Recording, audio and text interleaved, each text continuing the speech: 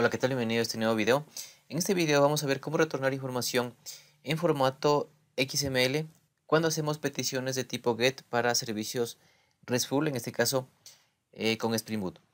En un video anterior habíamos visto un ejemplo de cómo retornar un objeto Java, pero eh, este objeto se retornaba eh, en el formato por defecto que utilizan los servicios RESTful, que es el formato JSON para peticiones de tipo GET. En este caso, eh, no lo vamos a hacer en el formato por defecto, sino que vamos a utilizar una librería y vamos a hacer una pequeña línea de código para que nos permita retornar la información en formato XML cuando realicemos peticiones de tipo GET hacia nuestro web service de tipo RESTful. Entonces, por eso lo que vamos a hacer es ir hacia nuestro ejemplo que tenemos creado. Básicamente, esta parte de un video anterior que eh, está en mi canal.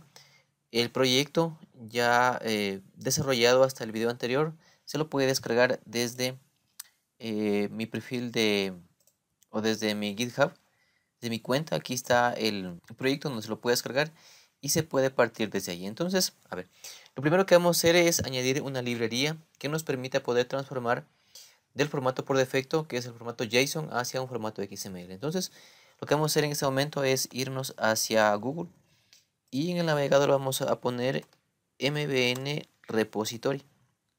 Aquí vamos a ir hacia Maven y vamos a escribir eh, la librería que se llama Jackson XML vamos a darle a buscar y vamos a elegir Jackson Data Format XML vamos a ir hacia la opción o hacia la versión 2.96 que es la más descargada y vamos a darle clic aquí vamos a eh, copiar esta eh, dependencia de tal manera que la pueda añadir Maven hacia nuestro proyecto. Entonces vamos nuevamente al proyecto y vamos a la parte del pom.xml.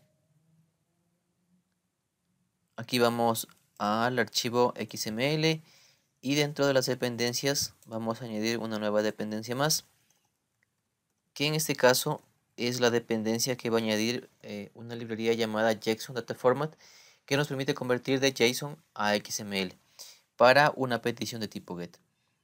Em, en este momento vamos a guardar. En teoría, Maven ya me debería haber descargado esta librería. Y como podemos ver aquí ya se encuentra eh, esta librería descargada. Entonces, lo que vamos a hacer es irnos nuevamente hacia nuestro controlador. Y aquí en la petición o mejor dicho, en el método que mapea eh, la petición que hacemos desde Postman, vamos a añadir una, línea de código que nos permita poder hacer o poder transformar de tipo JSON a eh, XML. Entonces, eh, como podemos ver actualmente, si es que em, yo hago una petición, en este caso de tipo JSON, pues me va a aceptar la, petición. Pero si yo aquí eh, en, el, header, en vez de poner eh, una petición de tipo JSON normal, que es la que me devuelve por defecto, pongo una petición, pero que sea de tipo XML. Bueno, me va a decir que em, la petición no ha sido aceptada y de hecho me da un código diciéndome que la petición no ha sido aceptada.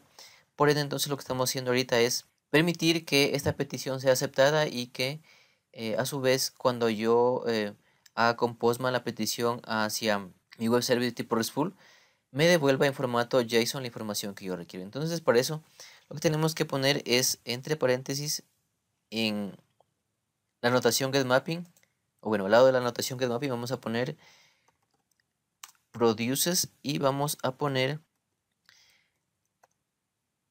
una línea de código. Aquí vamos a poner media